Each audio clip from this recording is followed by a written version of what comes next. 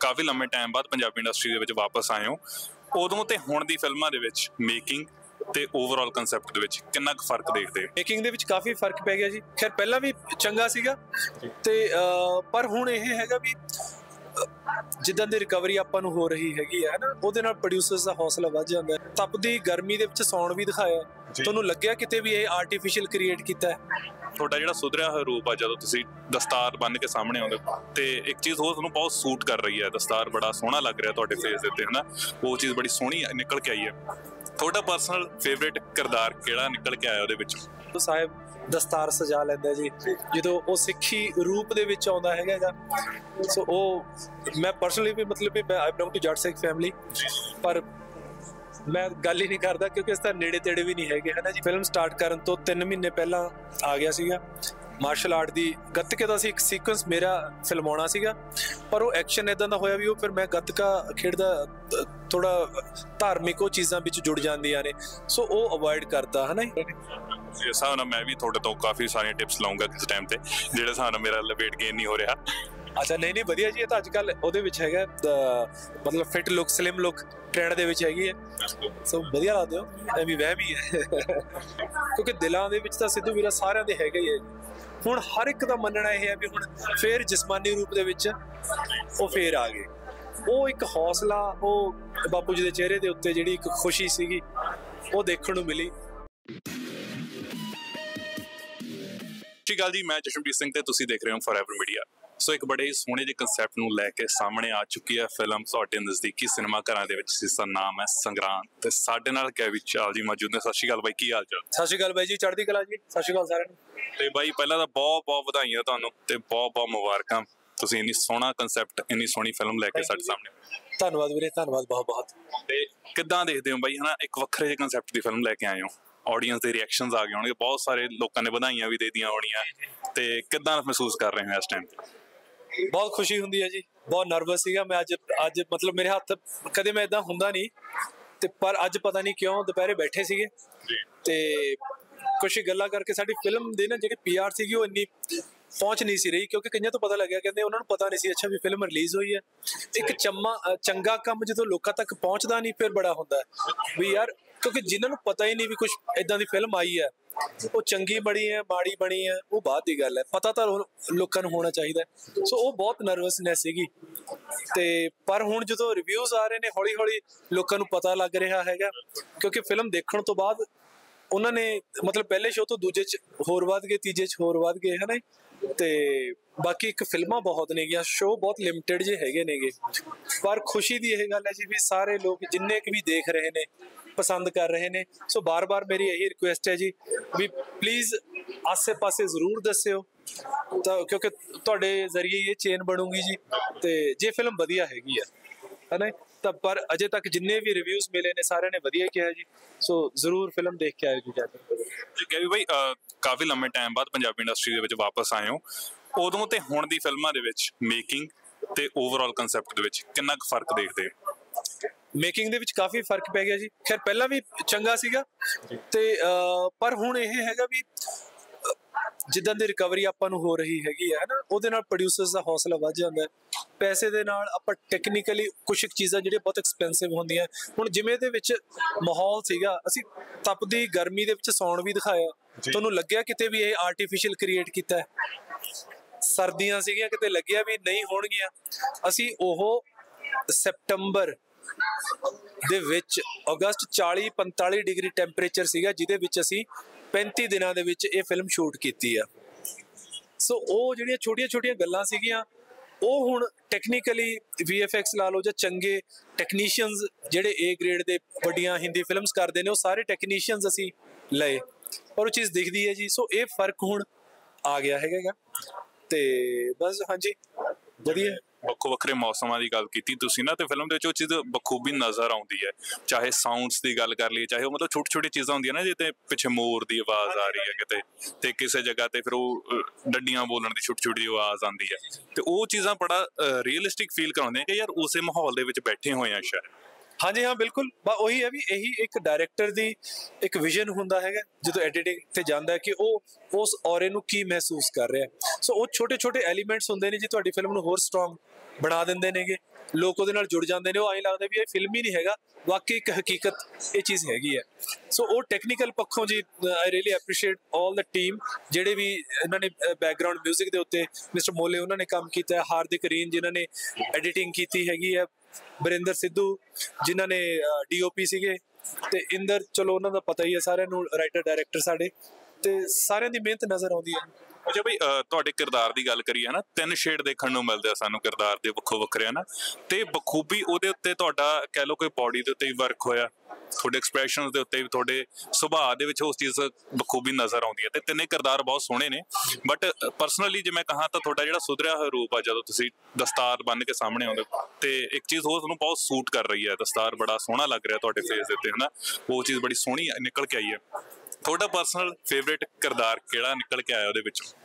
Look wise ਤੇ ਵੈਸੇ ਵੀ ਜੇ ਗੱਲ ਕਰੀਏ ਤਾਂ ਜੀ ਜਦੋਂ ਸਾਹਿਬ ਦਸਤਾਰ ਸਜਾ ਲੈਂਦਾ ਜੀ ਜਦੋਂ ਉਹ ਸਿੱਖੀ ਰੂਪ ਦੇ ਵਿੱਚ ਆਉਂਦਾ ਹੈਗਾ ਸੋ ਉਹ ਮੈਂ ਪਰਸਨਲੀ ਵੀ ਮਤਲਬ ਵੀ ਆਈ ਬਿਲੋਂਗ ਟੂ ਜੱਟ ਸਿੱਖ ਫੈਮਿਲੀ ਪਰ ਮੈਂ ਗੱਲ ਹੀ ਨਹੀਂ ਕਰਦਾ ਕਿਉਂਕਿ ਇਸ ਤਰ੍ਹਾਂ ਨੇੜੇ ਤੇੜੇ ਵੀ ਨਹੀਂ ਹੈਗੇ ਹਨਾ ਜੀ? ਪਰ ਜਦੋਂ ਖੁਸ਼ ਨਸੀਬ ਆ ਜੀ ਵੀ ਫਿਲਮਾਂ ਦੇ ਜ਼ਰੀਏ ਉਹ ਰੂਪ ਲੈਣ ਦਾ ਮੌਕਾ ਮਿਲ ਜਾਂਦਾ ਹੈ ਤਾਂ ਉਹ ਇੱਕ ਅਲੱਗ ਹੀ ਜਜ਼ਬਾ ਹੁੰਦਾ ਹੈ ਤੇ ਸਭ ਤੋਂ ਪਰਸਨਲੀ ਵੀ ਮੈਨੂੰ ਉਹ ਲੁੱਕ ਪਸੰਦ ਹੈਗੀ ਹੈ ਜੀ ਤੇ ਪਰ ਲੋਕਾਂ ਨੇ ਸਭ ਤੋਂ ਵੱਧ ਉਹ ਲੁੱਕ ਤੇ ਇੱਕ ਜਿਹੜਾ ਮੇਰੇ ਬਾਡੀ ਸ਼ਾਟ ਸੀਗੇ ਲੰਬੇ ਵਾਲ ਵਾਲਾ ਉਹ ਉਹ ਦੋ ਲੁੱਕਸ ਨੂੰ ਬਹੁਤ ਜ਼ਿਆਦਾ ਪਸੰਦ ਕੀਤਾ ਪੱਗ ਵਾਲੀ ਲੁੱਕ ਨੂੰ ਜ਼ਿਆਦਾ ਪਸੰਦ ਕੀਤਾ। ਬਿਲਕੁਲ ਬਾਡੀ ਸ਼ਾਟ ਵਾਲੀ ਗੱਲ ਕਰੂੰਗਾ ਤੇ ਉਹ ਤੇ ਨਾ ਬੜੀ ਮਿਹਨਤ ਲੱਗੀ ਲੱਗਦੀ ਆ ਉਸ ਬਖੂਬੀ ਇੱਕ ਸ਼ਾਟ ਨੂੰ ਨਿਭਾਉਣ ਲਈ ਵੀ ਮੇਰੇ ਖਿਆਲ ਨਾਲ ਬਾਡੀ ਤੇ ਕਾਫੀ ਵਰਕ ਕਰਨਾ ਪਿਆ ਹੋਣਾ ਕਿੰਨਾ ਕੁ ਵਰਕ ਕਰਨਾ ਪਿਆ। ਬਹੁਤ ਜ਼ਿਆਦਾ ਜੀ।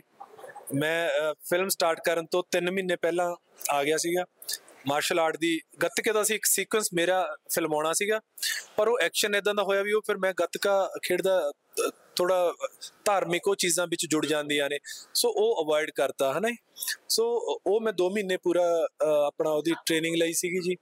ਫਿਰ ਜਦੋਂ ਜੇਲ੍ਹ ਵਾਲਾ ਸੀਕੁਐਂਸ ਸੀਗਾ, ਉਹ, ਉਦੋਂ ਮੈਨੂੰ ਡਾਇਰੈਕਟਰ ਉਹਨਾਂ ਨੇ ਕਿਹਾ ਸੀ ਵੀ ਆਪਾਂ ਸ਼ਰਟਲੈਸ ਕਰਾਂਗੇ।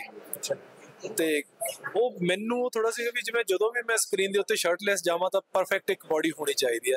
ਮੈਂ ਉਹ ਥੋੜਾ ਜਿਹਾ ਨੇਚਰਲ ਲੱਗੇ ਬਾਡੀ ਉਹ ਨਾ ਲੱਗੇ ਵੀ ਹਾਂ, ਐਨ ਚਿਣੇ ਪਏ ਨੇ ਐਬਸ ਜਿਵੇਂ ਇੱਕ ਹੁੰਦਾ ਵੀ ਹਾਂਜੀ ਹੈਗੇ ਵੀ ਹੈ ਤੇ ਹੈ ਵੀ ਨਹੀਂ। ਸੋ ਉਹ ਉਹ ਚੀਜ਼ ਸੀ, ਪਰ ਮੈਂ ਉਦੋਂ 93 weight ਕੀਤਾ ਆਪਣਾ। ਸਭ ਤੋਂ ਵੱਧ ਜਿਹੜਾ ਮੇਰੇ ਲਈ ਚੈਲੰਜਿੰਗ ਸੀਗਾ ਜੀ, ਜਿਹੜਾ ਮੈਂ ਯੰਗ ਪਾਰਟ ਕੀਤਾ ਹੈ, ਉੱਥੇ ਪਤਲਾ ਹੋਣਾ। ਸਕਿਨ ਨੂੰ ਵੀ ਆਪਣਾ ਜਦੋਂ ਜੇਲ ਵਾਲਾ ਸੀ, ਮੈਂ ਥੋੜੀ ਜਿਹੀ ਸਕਿਨ ਰਫ ਕਰ ਲਈ ਸੀਗੀ। ਵੀ ਜੇ ਮੈਂ ਇਦਾਂ ਕਰਾਂ ਤਾਂ ਮੇਰੇ ਸਕਿਨ ਦੇ ਉੱਤੇ ਉਹ ਉਹ ਲੱਗੇ ਵੀ, ਹਾਂ, ਉਹਨੇ ਉਹ ਚੀਜ਼ ਹੰਡਾਈ ਹੈ। ਵੀ ਜਿਵੇਂ ਕਹਿੰਦੇ ਨਾ ਵੀ ਜਦੋਂ ਨਰੇਸ਼ਨ ਕਰਦਾ ਵੀ, ਉਹਦਾ ਤਾਂ ਸਭ ਕੁਝ ਹੀ ਚਲਿਆ ਗਿਆ, ਭੈਣ ਦੱਸਦੀ ਹੈ ਵੀ ਉਹ ਪਤਾ ਨਹੀਂ ਕੀ ਬਣ ਗਿਆ। ਤਾਂ ਉੱਥੇ ਫਿਰ ਉਹਦੀ ਉਹ, ਉਨੀ ਖਿੜੀ ਸਕਿਨ ਨਹੀਂ ਹੋ ਸਕਦੀ। ਵੀ ਐ ਗਲੋਆ ਮਾਰਦੀ ਉਹ ਤਾਂ ਮੂੰਹ ਦੇ ਉੱਤੋਂ ਚੱਲ ਕੋਈ ਯਾਰ ਵੀ ਇਹ ਵਕਤ ਦੀਆਂ ਠੋਕਰਾਂ ਖਾਦੀਆਂ ਨੇ ਇਹਨੇ। ਸੋ ਉਹ ਬਾਕੀ ਚੀਜ਼ਾਂ ਲੋਕਾਂ ਨੂੰ ਸਮਝ ਨਾ ਆਉਣ, ਪਰ ਐਜ਼ ਐਨ ਐਕਟਰ ਮੈਂ ਉਹਦੇ ਉੱਤੇ ਜ਼ਰੂਰ ਉਹ ਵਰਕ ਕੀਤਾ ਸੀਗਾ।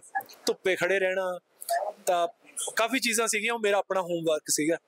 ਤੇ ਫਿਰ ਉਸ ਤੋਂ ਬਾਅਦ ਜਦੋਂ ਯੰਗ ਦੇ ਵਿੱਚ ਆਉਣਾ ਸੀਗਾ, ਸਾਡਾ ਫਿਲਮ 37 ਦਿਨ ਦਾ ਸਕੇਡਿਊਲ ਸੀਗਾ। ਗੈਪ ਹੈ ਨਹੀਂ ਸੀ, ਕਿਉਂਕਿ ਮੈਂ ਦਾੜੀ ਵੀ ਵਧਾਈ ਦਾੜੀ ਮੁੱਛਾਂ ਆਪਣੇ ਮੇਰੀ ਅਸਲੀ ਸੀਗੀਆਂ, ਤਿੰਨ ਮਹੀਨੇ ਲੱਗੇ ਸੀਗੇ। ਉਸ ਤੋਂ ਬਾਅਦ ਜਦੋਂ ਇੱਕ ਵਾਰੀ ਆਪਾਂ ਦਾੜੀ ਮੁੱਛ ਹਟਾ ਕੇ ਦੂਜੇ ਯੰਗ ਲੁੱਕ ਚ ਆਉਣਾ ਫਿਰ ਜੇ ਕੋਈ ਪਹਿਲਾ ਸੀਨ ਰਹੇਗਾ, ਉਹ ਫਿਲਮਾ ਨਹੀਂ ਸਕਦੇ ਤੇ ਉਸ ਤੋਂ ਬਾਅਦ ਇੱਕੋਦਮ ਟਰਾਂਸਫਾਰਮੇਸ਼ਨ ਵੀ 15 ਦਿਨਾਂ ਦੇ ਵਿੱਚ ਤੁਸੀਂ ਲੀਨ ਵੀ ਹੋਣਾ। ਇੰਨੀ ਜਲਦੀ ਮੈਂ 92 ਤੋਂ ਮੈਂ 83 ਤੱਕ ਆਇਆ ਸੀਗਾ ਜੀ।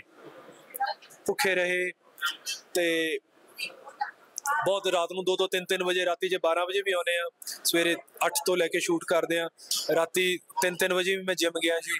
ਸੋ ਚੀਜ਼ਾਂ ਕੀਤੀਆਂ ਜੀ ਪਰ ਨਤੀਜਾ ਸਾਹਮਣੇ ਆ ਰਿਹਾ ਜੀ। ਵਧੀਆ ਲੋਕ ਪਸੰਦ ਕਰ ਰਹੇ ਨੇ। ਇਸ ਹਿਸਾਬ ਨਾਲ ਮੈਂ ਵੀ ਤੁਹਾਡੇ ਤੋਂ ਕਾਫੀ ਸਾਰੀਆਂ ਟਿਪਸ ਲਵਾਂਗਾ ਕਿਸ ਟਾਈਮ ਤੇ ਜਿਹੜੇ ਹਿਸਾਬ ਨਾਲ ਮੇਰਾ weight gain ਨਹੀਂ ਹੋ ਰਿਹਾ। ਅੱਛਾ ਨਹੀਂ ਨਹੀਂ ਵਧੀਆ ਜੀ ਇਹ ਤਾਂ ਅੱਜ ਕੱਲ ਉਹਦੇ ਵਿੱਚ ਹੈਗਾ ਮਤਲਬ fit look slim look trend ਦੇ ਵਿੱਚ ਹੈਗੀ ਹੈ। ਸੋ ਵਧੀਆ ਲੱਗਦੇ ਹੋ ਵੀ ਵਹਿਮ ਹੀ ਹੈ। ਤੇ ਬਈ ਜਿੱਦਾਂ ਆਪਣੀ ਫਿਲਮ ਬਹੁਤ ਸੋਹਣੇ ਸੋਹਣੇ ਮੈਸੇਜ ਵੀ ਦਿੰਦੀ ਹੈ ਹਨਾ ਕਿ ਨਫ਼ਰਤ ਤੋਂ ਹਟ ਕੇ ਹਟ ਕੇ ਚੱਲਣਾ ਚਾਹੀਦਾ ਕੁਝ ਚੀਜ਼ਾਂ ਨੂੰ ਲੈਟ ਗੋ ਕਰਨਾ ਚਾਹੀਦਾ। ਕਿੱਦਾਂ ਦੇਖਦਾ ਅੱਜ ਕੱਲ ਦੀ ਜਨਰੇਸ਼ਨ ਜਿਹੜੀ ਹੈ ਜਾਂ ਅੱਜ ਕੱਲ ਦਾ ਜਿਹੜਾ ਮਾਹੌਲ ਚੱਲ ਰਿਹਾ? ਉਹ 'ਚ ਵੀ ਨਫ਼ਰਤ ਆਈ ਥਿੰਕ ਲੋਕਾਂ ਦੇ ਸਿਰ ਚੜ ਕੇ ਬੋਲਦੀ ਆ। ਤੁਸੀਂ ਰੀਸੈਂਟਲੀ ਇੱਕ ਆਪਣੇ ਸਿੱਧੂ ਬਾਈ ਵਾਲਾ ਜਿਹੜਾ ਇਨਸੀਡੈਂਟ ਹੋਇਆ ਆਈ ਥਿੰਕ ਤੁਸੀਂ ਵੀ ਜਾ ਕੇ ਆਏ ਮੈਂ ਸੋਸ਼ਲ ਮੀਡੀਆ ਤੇ ਦੇਖਿਆ ਤੁਸੀਂ ਵੀ ਘਰ ਜਾ ਕੇ ਆਏ ਹੋ ਨਾ ਉਹਦੇ ਉੱਤੇ ਵੀ ਬੜਾ ਸੋਹਣਾ ਲੋਕਾਂ ਨੇ ਮੁੱਦਾ ਬਣਾਇਆ ਹੋਇਆ ਨਾ ਉਸ ਚੀਜ਼ ਦੇ ਉੱਤੇ। ਕਿੱਦਾਂ ਦੇਖਦੇ ਹੋ, ਮਤਲਬ ਇਹਨਾਂ ਚੀਜ਼ਾਂ ਨੂੰ ਵੀ ਆਈ ਥਿੰਕ ਲੋਕਾਂ ਨੂੰ ਇਸ ਚੀਜ਼ ਦੇ ਤੋਂ ਸੇਧ ਲੈ ਕੇ ਦੇਖਣਾ ਚਾਹੀਦਾ ਕਿ ਚੀਜ਼ਾਂ ਛੱਡ ਦੇਣੀਆਂ ਚਾਹੀਦੀਆਂ ਹਾਂਜੀ, ਬਿਲਕੁਲ। ਨਫ਼ਰਤ ਦਾ ਦੇਖੋ ਰਿਜ਼ਲਟ ਬਹੁਤ ਚੰਗਾ ਨਹੀਂ ਹੁੰਦਾ।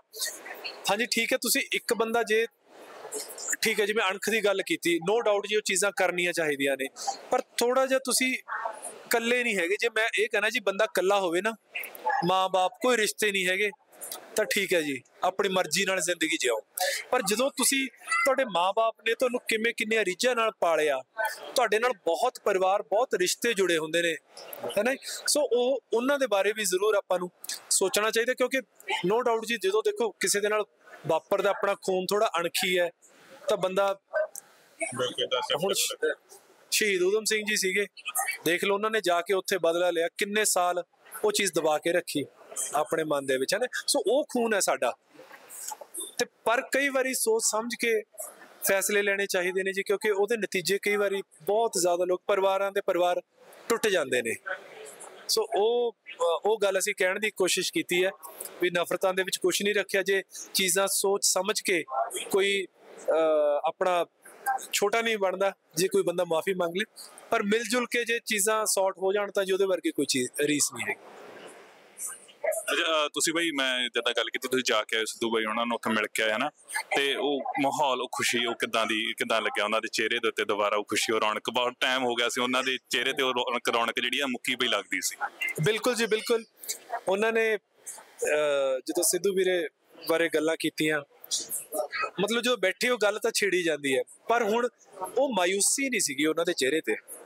ਕਿਉਂਕਿ ਜਿਹੜੀ ਉਹ ਜਸਟਿਸ ਚਾਹੁੰਦੇ ਨੇ, ਜਿਹੜੀ ਚੀਜ਼ ਚਾਹੁੰਦੇ ਨੇ, ਉਹ ਅਜੇ ਤੱਕ ਉਹ ਬਾਪ ਨੂੰ ਉਹ ਚੀਜ਼ ਮਿਲੀ ਨਹੀਂ, ਤਾਂ ਉਹ ਕਿਤੇ ਜਦੋਂ ਗੱਲ ਕਰਦੇ ਨੇ, ਭਾਵੁਕ ਹੋ ਜਾਂਦੇ ਨੇਗੇ। ਪਰ ਜਿਹੜਾ ਇੱਕ ਕਹਿੰਦੇ ਨੇ ਨਾ ਵੀ ਬੰਦੇ ਨੂੰ ਇੱਕ ਸਹਾਰਾ ਮਿਲ ਗਿਆ, ਕਿਉਂਕਿ ਦਿਲਾਂ ਦੇ ਵਿੱਚ ਤਾਂ ਸਿੱਧੂ ਵੀਰਾ ਸਾਰਿਆਂ ਦੇ ਹੈਗਾ ਹੀ ਹੈ ਜੀ। ਹੁਣ ਹਰ ਇੱਕ ਦਾ ਮੰਨਣਾ ਇਹ ਹੈ ਵੀ ਹੁਣ ਫੇਰ ਜਿਸਮਾਨੀ ਰੂਪ ਦੇ ਵਿੱਚ ਉਹ ਫੇਰ ਆ ਗਏ। ਉਹ ਇੱਕ ਹੌਸਲਾ, ਉਹ ਬਾਪੂ ਜੀ ਦੇ ਚਿਹਰੇ ਦੇ ਉੱਤੇ ਜਿਹੜੀ ਇੱਕ ਖੁਸ਼ੀ ਸੀਗੀ, ਉਹ ਦੇਖਣ ਨੂੰ ਮਿਲੀ, ਜਿਹਦੇ ਨਾਲ ਮਤਲਬ ਮਨ ਬਹੁਤ ਖੁਸ਼ ਹੋਇਆ। ਇਦਾਂ ਹੀ ਸੋਚਦੇ ਆ ਕਿ ਇਦਾਂ ਹੀ ਜਿੱਦਾਂ ਅੱਜ ਕੱਲ ਵੀ ਨਫ਼ਰਤਾਂ ਨੇ ਲੋਕ ਇਹਨਾਂ ਚੀਜ਼ਾਂ ਨੂੰ ਭੁੱਲ ਕੇ ਤੇ ਫਿਲਮ ਤੋਂ ਬਹੁਤ ਸੋਹਣੇ ਸੋਹਣੇ ਮੈਸੇਜ ਲੈ ਕੇ ਜਾਣ ਤੇ ਦਰਸ਼ਕਾਂ ਨੂੰ ਕੀ ਕਹਿਣਾ ਚਾਹੋਗੇ? ਫਿਲਮ ਆਲਰੇਡੀ ਸਿਨੇਮਾ ਘਰਾਂ ਦੇ ਵਿੱਚ ਹੈ ਤੇ ਕੀ ਕਹਿਣਾ ਚਾਹੋਗੇ ਸਾਰਿਆਂ ਨੇ ਪਸੰਦ ਕੀਤਾ ਜੀ ਸਭ ਤੋਂ ਪਹਿਲਾਂ ਤਾਂ ਧੰਨਵਾਦ ਤੇ ਫਿਲਮ ਰਿਲੀਜ਼ ਹੋ ਚੁੱਕੀ ਹੈ। ਹਰ ਇੱਕ ਵਰਗ ਦੇ ਲਈ ਇਹਦੇ ਵਿੱਚ ਕੋਈ ਨਾ ਕੋਈ ਚੀਜ਼ ਹੈਗੀ ਹੈ ਜਿਹੜਾ ਐਕਸ਼ਨ ਦੇਖਣਾ ਚਾਹੁੰਦੇ ਨੇ ਭਰਪੂਰ ਐਕਸ਼ਨ ਹੈ ਜੀ ਤੇ ਰੋਮਾਂਸ ਹੈਗਾ ਇੱਕ ਮੈਚੁਰ ਲਵ ਸਟੋਰੀ ਵੀ ਹੈਗੀ ਹੈ ਬੱਚਿਆਂ ਲਈ ਵੀ ਇਹਦੇ ਵਿੱਚ ਬਹੁਤ ਚੀਜ਼ਾਂ ਨੇ ਬਜ਼ੁਰਗਾਂ ਲਈ ਵੀ ਬਹੁਤ ਚੀਜ਼ਾਂ ਨੇ ਪਰਿਵਾਰਕ ਫਿਲਮ ਹੈ। ਸੋ ਕੋਈ ਇਹੋ ਜਿਹੀ ਚੀਜ਼ ਨਹੀਂ ਹੈਗੀ ਜਿੱਥੋਂ ਤੁਸੀਂ ਵਾਂਝੇ ਨਹੀਂ ਰਹੋਗੇ। ਹਰ ਇੱਕ ਵਰਗ ਦੇ ਲਈ ਇਹਦੇ ਵਿੱਚ ਕੁਝ ਨਾ ਕੁਝ ਹੈਗਾ ਤੇ ਇੱਕ ਵਧੀਆ ਮੈਸੇਜ ਦੇ ਨਾਲ ਪੂਰਾ ਤੁਹਾਡਾ ਮਨੋਰੰਜਨ ਕਰਦੀ ਹੈ ਫਿਲਮ ਤੇ ਜਾ ਕੇ ਜ਼ਰੂਰ ਦੇਖਿਓ ਜਿਨ੍ਹਾਂ ਨੇ ਇੰਨੇ ਵਧੀਆ ਰਿਵਿਊਜ਼ ਦਿੱਤੇ ਨੇ ਉਹਨਾਂ ਦਾ ਬਹੁਤ ਬਹੁਤ ਧੰਨਵਾਦ। ਤੇ ਹੋਰ ਲੋਕਾਂ ਨੂੰ ਜੀ ਪਲੀਜ਼ ਤੁਸੀਂ ਜ਼ਰੂਰ ਦੱਸੋ ਤਾਂ ਕਿ ਸਾਰੇ ਜਾਣੇ ਸੰਗਰਾਂਦ ਫਿਲਮ ਦੇਖ ਕੇ ਆਉਣ। ਥੈਂਕ ਯੂ ਸੋ ਮਚ ਬਾਈ ਤੇ ਬਹੁਤ ਸਾਰੀਆਂ ਬੈਸਟ ਵਿਸ਼ੇਸ ਸੰਗਰਾਂਦ ਲਈ ਤੇ ਤੁਹਾਡੇ ਆਉਣ ਵਾਲੇ ਪ੍ਰੋਜੈਕਟਸ. Thank you